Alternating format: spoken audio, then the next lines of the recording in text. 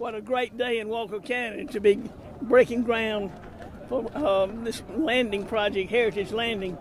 This is going to be the beginning, as one speaker said, of a bridge from the past to the future.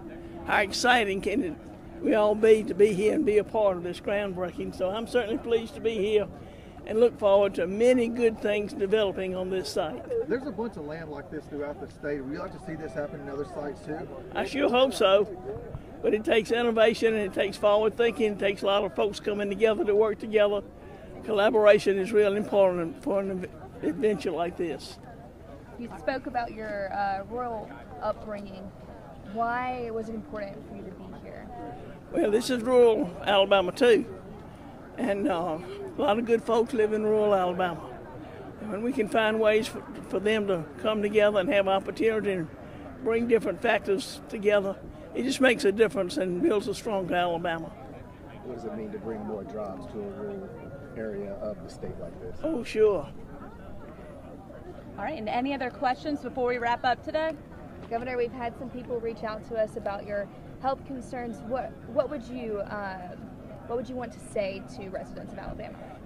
Evidently, my clean bill of health that I've been given has no place in the media's narrative. I am healthy. I am grateful for that. I give thanks to God Almighty every day for my clean bill of health. I'm grateful to the people of Alabama, far and wide, who lift me up in prayer and for health and well-being. I'm grateful. I just wish y'all in the media just get past all this nonsense. Let's move on and talk about things that matter. All right, and then just to close us, Governor, you mentioned uh, that innovative thinking is uh, necessary for success in our state. Can you close giving some comments on that? You know, projects like what we see here today don't just happen.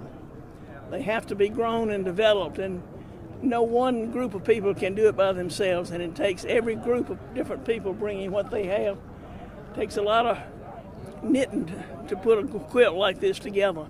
But it's exciting to see local people coming together with what they have to offer and put it together and join hands and collaborate, work together, and make progress for their fellow man. What a pleasure it is to be the governor of this great state, and I certainly look forward to continuing to be governor for four more years.